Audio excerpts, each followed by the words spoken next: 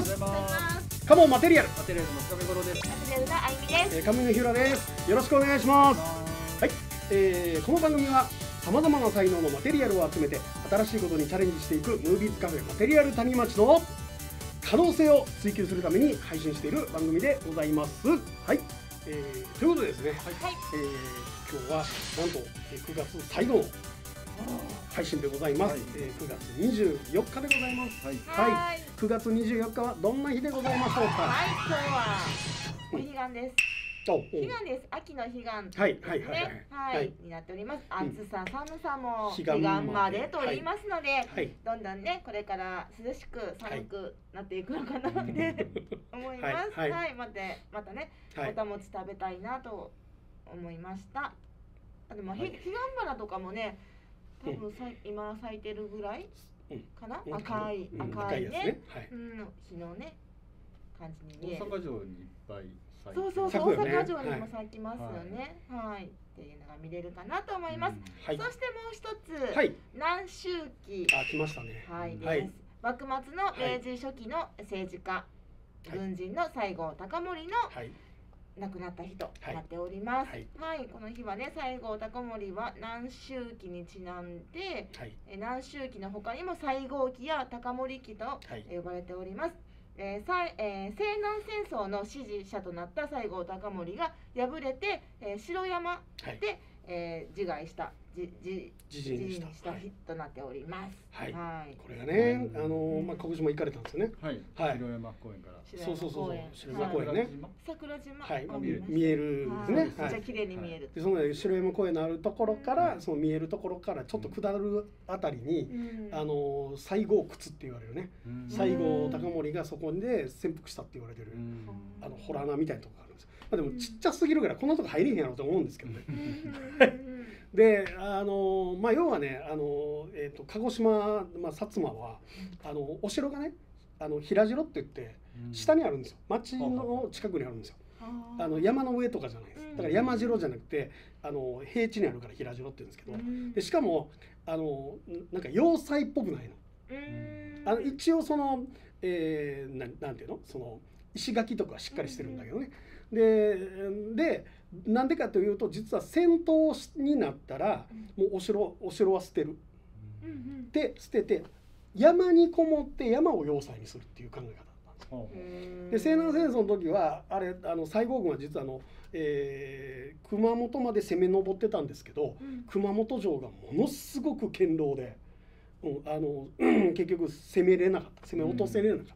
で、えー仕方なく、えー兵糧も持つきかけてたんで、えー薩摩に帰ろうっていうことで薩摩の方に戻ってきて城山にこもろうとしたんですけど、うん。まああのやっぱり、えー兵糧がほとんどないの本当にねご飯最後の食べれてないんですよ。うん。でそんな中で、まあ、気力だけで頑張ってたんですけどあの西郷も途中でさいあの西郷隆盛も途中で足を打たれてたりとかしてもうあの逃げることがほとんどできない状態だったので、あのもう心でよよがもんそうって言いながらあの首を、えー仲間に落としてもらって、えー自決をしたという形になってるんですよね。はい、それが、えー9月24日とい。うことなんですよね。はいね。はい、まああの、まあ、これはねその一応その反乱を起こしたということになってるんですけど、まあ、本来はねあの西郷隆盛は別に別に反乱を起こすつもりなかったんですよ。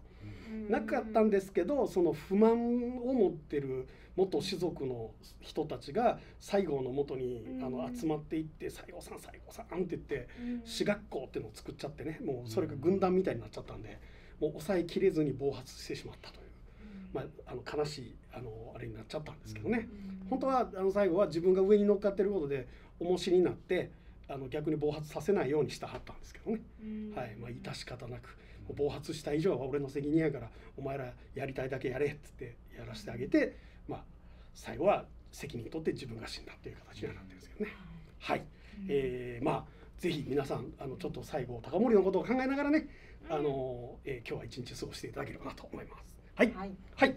はい。終わり。はい、ありがとうございます。はい、ということでですね、えーっと今日はですね、えーまたあのこのプレゼンありかなしかなんですけど、はい。今日も映画監督にインタビューしてまいりました。はい。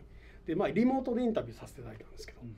まあこの、えー雲旅っていう作品がですね、あのまあ、プロボクサー女性のプロボクサー女子プロボクサーの、えー、葉月さなさん、えー、という方を、えー、追っかけた、えー、ドキュメンタリーということなんですけども彼女がものすごくあのなんていうんですかねあのすごい人生を送ってらっしゃるんですよ。はい、えーとまあ、先週もほらあの虐待を受けたっていう話があったんですけど、はい、まあお、お母さんが出て行っちゃってっていうのででお父さんって言ってもお父さんじゃないんですよ。不倫の子として生まれてる人やから。で弟が2人でこの弟はあのお父さんの子なんですけどお父さんっていうのはそのお父さんとして育てられた人の子なんですけどこの弟たちと3人でお父さんは暮らせないからっていうんで施設に3人まとめて入らはってでまあそこで生活をしていろいろあってであの弟、えー、2人のうちの、えー、長男の方がぐれちゃってとかいろいろあってですね。あの兄弟さまざまにいろんな人生を送らはったんですけど、弟その弟さんが実は、えー、自死されるという。それをきっかけにして彼女は実は30歳でプロボクサーになるんですよ。そうなんですあの弟が生きてた証をその自分がプロボクサーになって証明するんだっていう、そなんでその理屈になってるのか作品見ていただいた方がいいんですけど、はい、でまあそれをまたあの監督したえー、これね下本寺隆さんっていうんですけども、うん、はい、えー、なんて読むんやろうと僕も思ってたんですけど、あの下本寺ドットコムっていうのを作ってはったんですぐ分かりました。はい、でその下本寺隆さんと、えー、まあお話しさせていただいたとかあのインタビューさせていただきまして、えー、ついでに、えー、今度大阪で飲もうという約束もしておきます。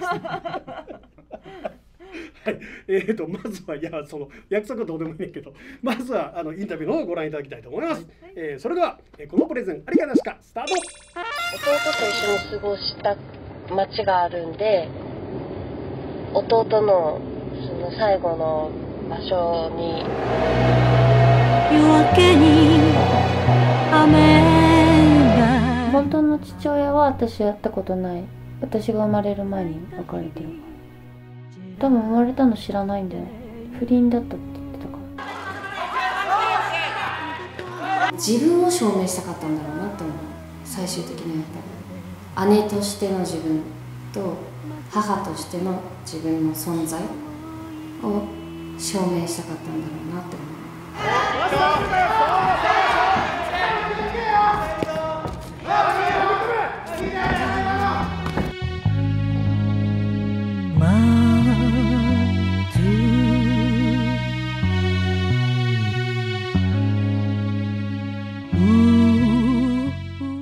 ー、とそれでは、えー、今日はですね、えーと、映画「雲旅」の監督を、えー、務められました下本寺隆さん、えー、監督にインタビューをさせていただきます。よろしくお願いします。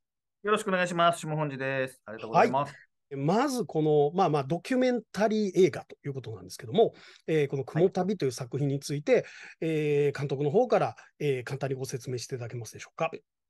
はい、えー、映画雲旅、女子プロボクサーの、えー、葉月さなを、えー、4年、まあ、コロナもありましたんでね、4年から5年、えーまあ、ドキュメンタリー、ロード、ドキュメントロードムービーということで、えー、追いかけまして、まあ、葉月さなという壮絶な人生を歩んできている女性を媒体にして、まあ、普遍的なあの人間愛であったり、えー仲間であったり、えー、そういったことを、えー、描いております。はい。あのまあ、もちろん僕も見させていただいて、あの葉月さんの、まあ、人生自体もまあまあ壮絶な人生で、まあ、あのそれはあの、まあ、彼女自身の口からも語られるし、まあ、あの監督の方からの質問で彼女が答えていく中にそういうものが出てくるっていうのも、まあ、あるんですけど今回の作品見てあの思ったのは、まあ、こう4年素材を取りためるっても大概やと思うんですけど、はい、あのそれをねあ、あの形で再構成するっていうのはなかなか大変な作業やったんじゃないかなってすごい思ったんですよ。だって最後の彼女の中でのその最終着地点をあの超えたらここへ行こうねっていう約束のところへ最後行くっていうのが、はい、あの、はい、実はえー、ドア玉から出てきてたんだっていうことに、あの途中で気づく、まあ途中でもほとんど終盤で気づかされるみたいな形なんですけど、はい、あの作り方が僕はあのすごいこう温かいなってあの思ったんですよね。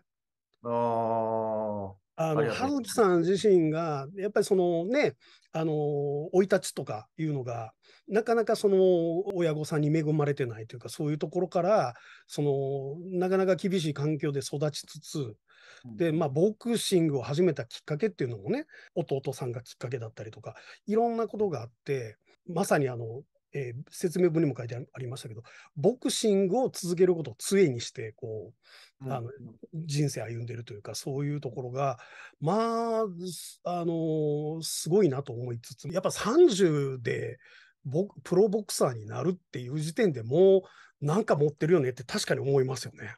はい、そうですね。まあ、30歳でっていうのがやっぱり、まあ、10年、他の子たちとはもう10年か十何年か違いますからね。それだけ何らか人生いろんな経験してきているっていうのがありますからね、彼女の場合は。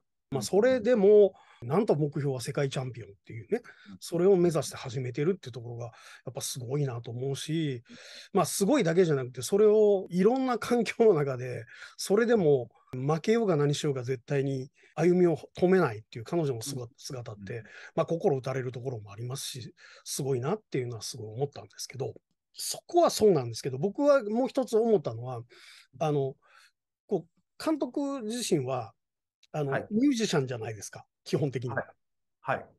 で、そのミュージシャンの監督が、なんでこのあのドキュメンタリーを撮ったはんのかなってすごい興味があるんですけども。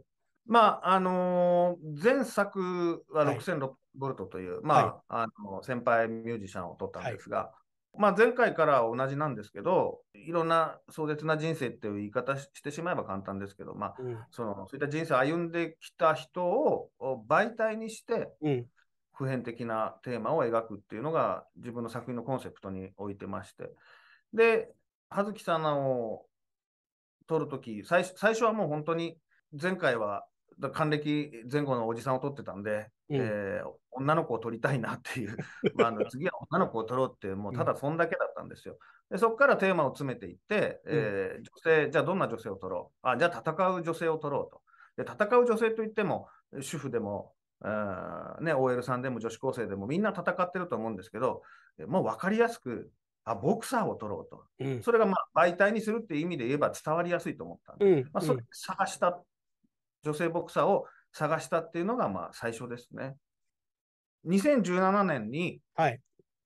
クランクインしまして、はいで2018年に、うん。えー僕の親友が自死したんですよ。自ら命を絶ってですね。はいで、その、その時に、うん。あのまあ、半年ぐらい僕、その友達の顔がずっと顔、頭に出てきてて、うん。えー普段付き合いもなくなってた友達なんですけど、うん。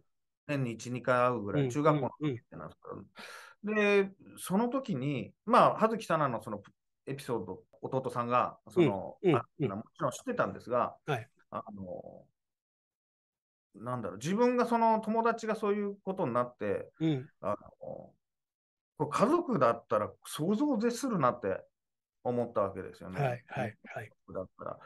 で、その時に書いた僕の詩が雲旅なんですよ。なるほど。で、えーその、そで、同時に映画の、まあ、漠然とその普遍的なことを描くということで、ロードムービーで一緒に心の旅をしながら着地点を見つけていくっていう、まあ、発信の仕方、発射の仕方をしてるんですが、うん。その時にその輪郭が見えてきたんですよね。うん。うん。うん。うん。作品の。で、えー逆説的ですけど、その自分が作った詩と、うん。あ詩詩と曲のに向かってうん。進んでいったっていう感がある。映画でも結局最後にその歌がうん流れるわけですけど、そうですね。そこに向かっていったってことなんですね。だから、雲旅っていう意味はいろいろ含んでて、はいもちろんそのロードムービーであったり、えーしその歌を最初に聞くときに、ちょっと壮大な空の景色を思い浮かべながら入ってきてほしいっていうのもありますけど、まあ、詩の中に諸行無常って出てくるんですが、はい。はい。まあ、仏教用語ですね。うん。この世の中常に変化、流動し続けるっていう意味ですけど、はいまあそれを、まあ雲のた、雲っていうのは流れて形が定まらないじゃないですか。はい。はい。これを諸行無常を置き換えて僕、雲旅にしたんですね、なるほど。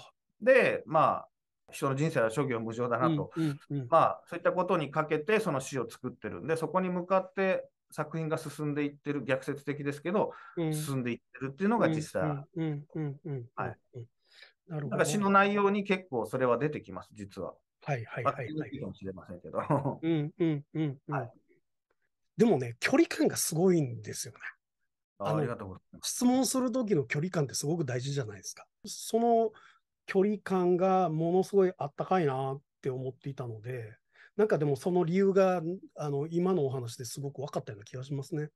あーあの福岡が初日だったんですけど、風切りが福岡の中洲太陽劇場というはいところだったんですはいはいはい。そこの、まあ、最初の最初に舞台挨拶をうん葉月かなと2人ではいやるために、その日、楽屋に行って控えてたんですよね。はいはいはい。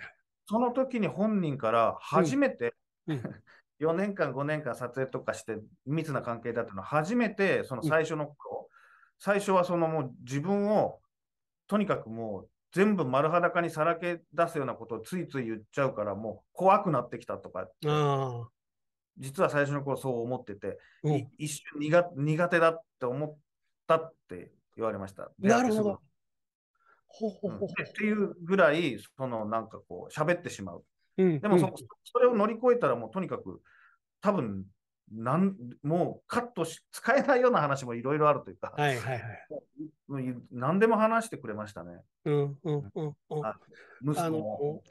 喋るのって結構、はいそのデトックスあるんですよね。うんうんうんうんうん。だから喋れないことの方が実はストレスで、なるほど。喋ることによって多分葉月さんもあの、自分を整理していってる部分もあったと思うし、うんうんうんうん割とね、インタビュー答えてらっしゃるところで、あのうん。自分を鼓舞するためにすごい言ってるよね、これってこういうようなやつもありましたもんね。うん。んううんうんうん。あのー福岡で初日があって、その数日後に、うん。あの本人はもう劇場でも見てるし、見てるんですけど、もう一回見たいと思って見に行ってるんですよ、プライベートで完全に。はいはい。で、その日終わ、上映終わった時間に僕、電話があって、はい。そんな時間に電話あることあんまりないんですけど、うんうんうん。なんかあったのかなと思って、うんうん。びっくりして撮ったら、なんかもう改めて、すごいお礼言われて、うん。監督ありがとうございましたっていう今改めてあの、もう本当に良かったっってくれて、はい、それは嬉しかったですね、すごく。うんなるほど。やっぱそうですよね。きっとそうじゃないかなと思いました。はい。まあ、あの、これをね、あの、見てらっしゃる皆さんにも、ご覧になった方それぞれが、それぞれに何かご自分に照らし合わせて感じ取ってもらえたら嬉しいですよね。ですね、もうその通りです。ありがとうごじゃあ、ざいます。あの、えー最後に、あの、監督から、あの、見てらっしゃる方にメッセージをいただけますでしょうか。えーまあ、今話した通りですが、まあ、本当普遍的なことを描いているつもりです。あのどなたでもいろんな本当入り口があって出口があると思いますので、ぜひ、えー見ている方を見てくださった方の、えー雲旅を見つけていただければ、えーありがたいです。よろしくお願いします。はい、ありがとうございます。まあ、あの、ある意味、ドキュメンタリーって、あの、なんか、えぐられるすぎて嫌になることもあったりとかすること多いんですけど、僕はこの作品は、あの、ぜひ、あの、なんか、ドキュメンタリーあんまり見たことない人にも見てほしいなと思った作品。はいあの、ぜひ、たくさんの方に見ていただけることを、えーお祈りします。はい。えーそれでは今日は、えー映画雲旅の、えー下本寺隆さんのインタビューでした。どうもありがとうございました。ありがとうございました。はい、ということで、インタビューでございました。はい。いやー、あのね、あの、最後に僕言ってましたけど、あの、ドキュメンタリーってさ、なんか見終わった後にすごい重たいのがずーんと結構動きたくなくなるやつとかあるや。うんん あの、でもこれはね、違います。違います。あの、見た時に、よかったって思えるんですよ。あまああのそう彼女の壮絶な人生が語られたり、あるいはその、えーお父さん出てくるのよ。お父さんってあの自分のお父さんじゃないのよ。育ててくれたお父さん。うん。であの弟たちのお父さん。でもう一人おるの実は。うん。お父さんが。でまあそっちはあれなんですけどでもそのお父さんと会話してる時にね昔話がいろいろ出てきたりとかいろいろするんですけど、あのまあ、そういう中でもいろんなごご普通に考えたらこれえぐいこと言ってないみたいなことが出てくるんだけど、うん。あの決してそれはそのものすごく重たい話として聞くとかっていうんじゃなくて彼女の覚悟であったり彼女の人生をに触れさせてもらってるっていう感じで見れるのね。うん、だからあの下地さんのそのインタビューっていうのがすごく優しいインタビューやなって俺いつも思っててあの見ながらね、うん、だからあのなんかねあのよかったなっていう感じで終われるんですよね。うん。うん、まああのえー、編集の構成とかも4年分をようこんなの、ね、俺もう4年も貯めたらもう諦める。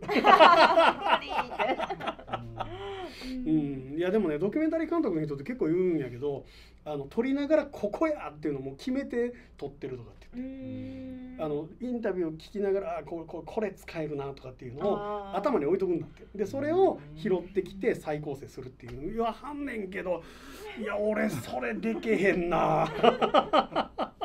まあだから僕はドキュメンタリーには向いてないんだろうなと思うんですけど。はい、えー、ということで、えー、下本さんの、えー、まあこの「雲旅」ですがじゃあ順番で言うと。はい。私が判定をさせていただきます。まあね女性のね、あの葉月さんさんの話ですからね、女性で。はい。行ってみましょう。はい、はい、それでは、えー、このプレゼン、えー、ありかなしか判定。い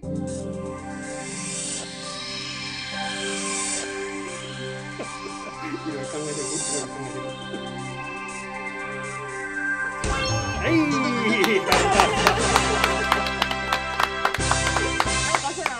なと思って。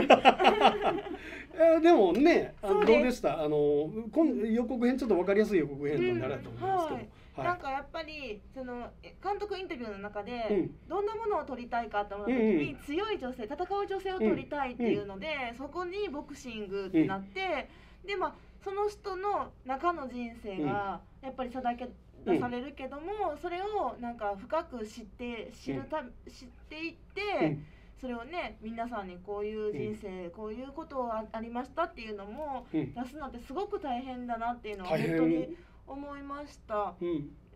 ぜひねそれをまた見たいなって思いました、その本当にどうやってこう乗り越えてきたのかとか、ね、多分ねこれをね、時系列でずっと置かれてるだけのドキュメンタリーだったらしんどいんですよ、しんどいんです、だからしんどい話から入らなあかんし、でもね監督ちゃんと構成してくれてるんで、であのちゃんとね旅にいざなってくれます、もうだから、えーと、ささっきのあの予告編のドア玉が本当に本編のドア玉です。よ、うん、そっからもう。もうだから新幹線乗るとこから博多駅から新幹線乗るとこから始まるんで、ででもその博多駅から乗る新幹線がどこに行くのかは言ってないでずっと見てるうちにああそこへ行くんだって分かるんですよ。だからちゃんと最初から目的地がこれこれを構成される段階でも決まってて。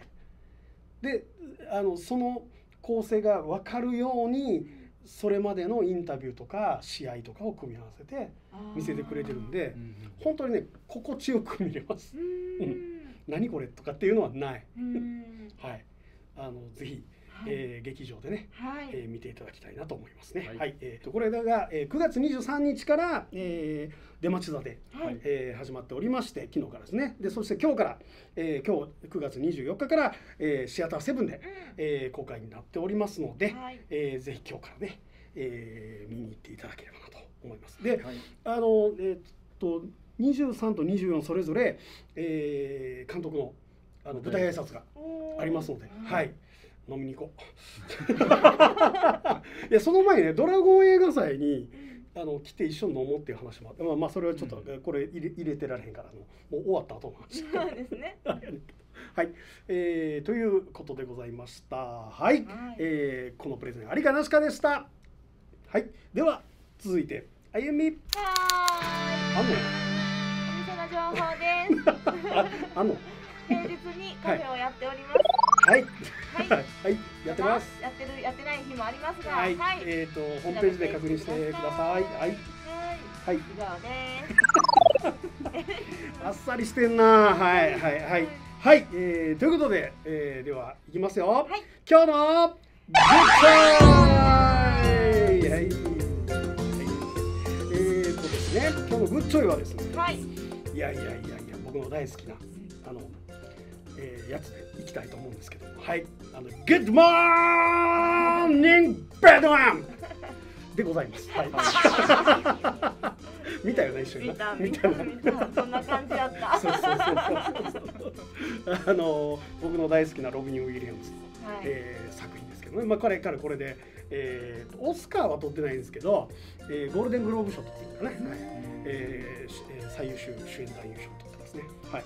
えー、まああのグッドモーニングベトナムという名前そのものが示しているようにこれは、えー、ベトナム戦争を描いた。はいえー、作品なんですけども、まあ、そもそもねベトナム戦争っていうの自体が、まあ、アメリカの国政府自体がもう後で言ってますけどあれ失敗やったと。あの政策として失敗してたんだろうというふうには言ってます。なぜあの撤退がなかなかできないし、でそこに咲く人員とそのねやっぱそこで亡くなる人もいるわけで、あのアメリカの若い兵士の血がたくさん流れた。えー、ということも現実にありますからね。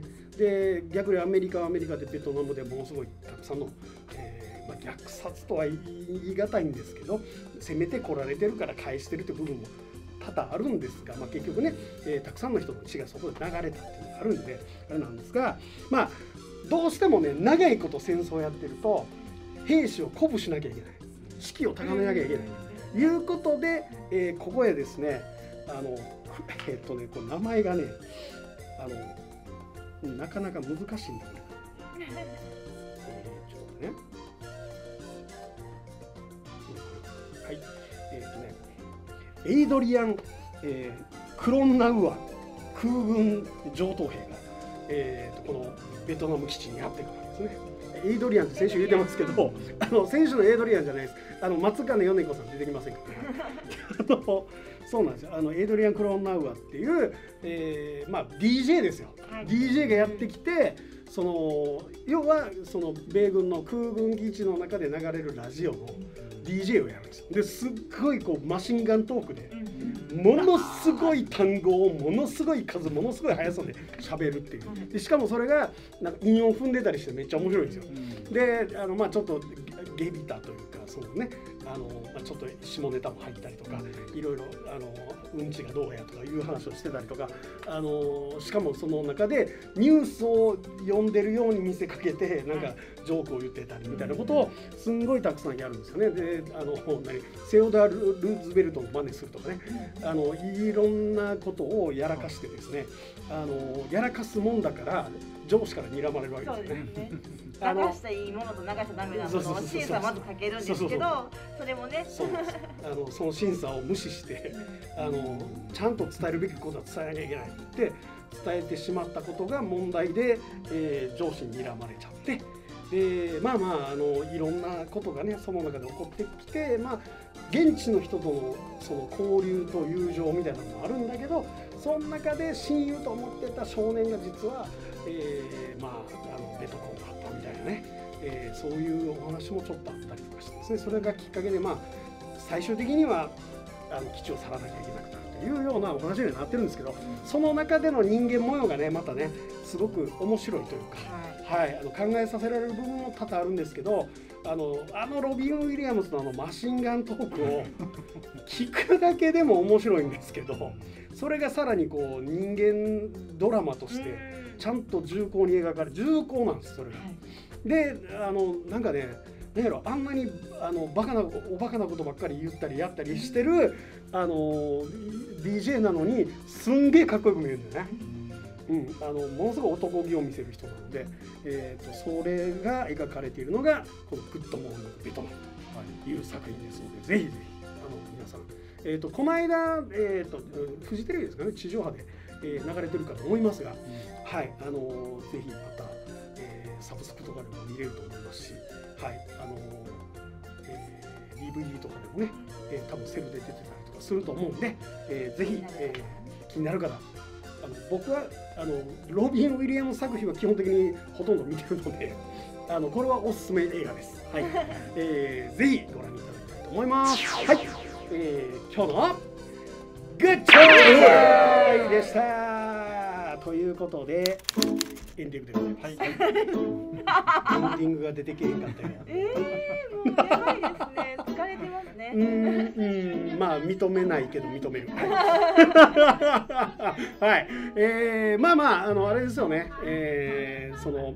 まあ、9月も終わりですから来月からもう10月ですよあと3か月ですはい101112ヶ月で今年終わりです。はい、えー、皆さん、えー、年の瀬の準備は大丈夫でしょうか？はい、えー、まあでもねあの、えー、今月に関してはね僕もあのともるの上映が、えーまあ、ドラゴン映画祭で上映されまして、えーまあ、その後もまあともるをまた、えー、いろんなところで上映したいと思ってますんでね、はい、特にあの八尾でねあの上映しましたから、えー、八尾の方にはぜひあのどんなふうにそのご自分の住まいの部屋をね、えー、撮ってるのかっていうのを見に来ていただきたいなと思います。で、えーまあ、そういう会も設けたいと思ってますけども、まあ、その辺を、えー、多分、えー、10月ぐらいから決めていくやろうなと思いますから、はい。はい、えー、ぜひ楽しみにしておいていただければなと思います。はい、えー、では、えー、今日はこれぐらいで終わりたいと思います。どうもありがとうございまし。